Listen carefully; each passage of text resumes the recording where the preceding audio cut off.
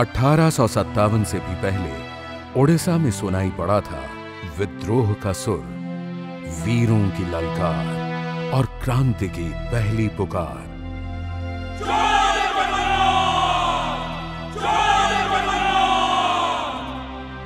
ओडिशा के तटवर्ती क्षेत्र में बसा है खुर्धा नगर, जहाँ के वीर पाइक का योद्धाओं के पराक्रम के किस्से सुनने, समुद्र की लहरें भी लौट लौट कर आती हैं। सन 1804 अंग्रेज़ों से युद्ध के बाद खुर्दा के राजा मुकुंद देव को बंदी बनाया जा चुका था। उनके दीवान और मंत्री जय राजगुरु ने युद्ध का पूरा जिम्मा अपने सर लिया। मुकदमा चला और 1806 में अंग्रेज़ों ने बड़ी निर्ममता से उनका वध कर दिया। खुर्दा अब ईस्ट इंडिया कंपनी के अधीन था। आए दिन नए कानून बनने लगे। लोगों से उनकी ज़मीन जायदाद छीन ली गई। देश को ऐसा ग्रहण लगा कि हर ओर अंधकार छा गया।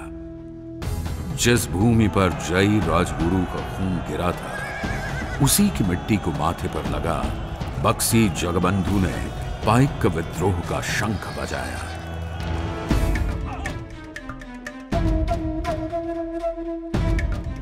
पाइक का विद्रोह वो दावानल बन गया जिसमें अंग्रेज़ों का वर्चस्व भस्म होने लगा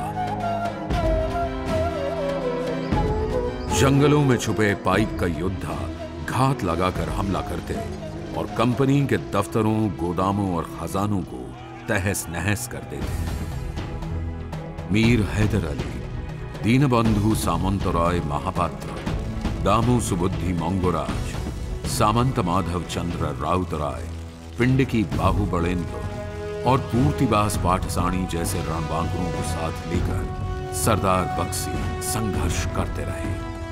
सबका लक्ष्य एक था, मातृभूमि की आज़ादी। जिन नागरिकों में राष्ट्र सम्मान का बोध है वे सदा ही आज़ाद रहते हैं और देश हित में नई क्रांतियाँ लाते रहते हैं। दूरद्रष्टा और अद्भुत रणनीतिकार, पराक्रमी योद्धा, प्रखर राष्ट्रभक्त, प्रतापी नेता और भारतीय स्वतंत्रता संग्राम के प्रथम शहीद, अपराजित अजय, जोई राजगुरु। युगों युगों तक हमारे प्रेरणा के स्रोत बने रहेंगे।